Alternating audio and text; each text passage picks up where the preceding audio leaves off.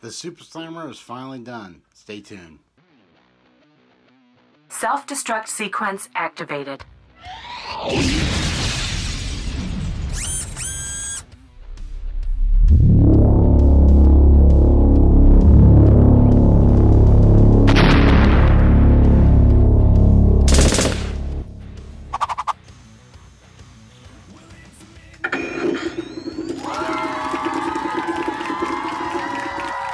Hey guys, Josh bringing you another great video guys for you guys today. I happen to got the Super Slammer done. Uh, I got the wires buttoned up and I just happened to thought, well, I want to do a Super Slammer for this because I think that would be a great uh, little add-on treat.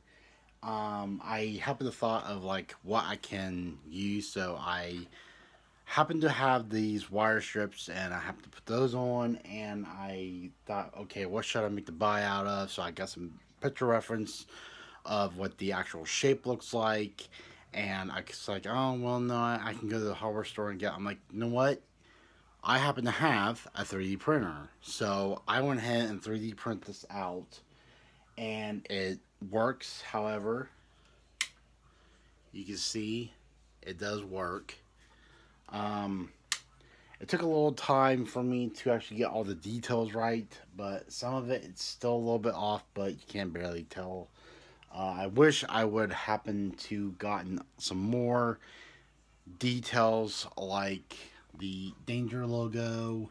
I still got to add on the stickers on the sides and also maybe put like a little danger right here next to Slimer and it's basically an easy setup. There is the battery setup right there. This runs on a 9 volt.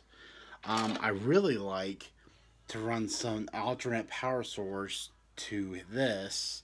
That way when I plug it in to the bike it can actually run on that and this can be turned on and off. So I really like to have something like that but I got to brainstorm a little bit of how I should do that uh, maybe I should add like another pipe to here or something. Or maybe I should add another pipe to the containment unit.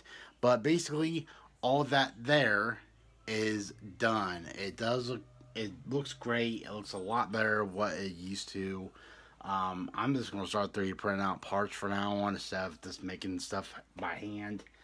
Um, the one thing that is handmade on this are these little details that are right here. That's the only handmade detail is it, but basically everything is 3D printed. So I'm going to go ahead and include this video right now. I happen to have another video coming tomorrow that's going to be out. I hope you guys will enjoy that. I know I have been lagging on uploading videos lately, but um, I just been real busy with some stuff that has been going on, like fixing up the house a little bit. This house is falling apart. Getting in touch with my landlord, having her uh, come by with some of her maintenance people and start fixing some stuff up in here.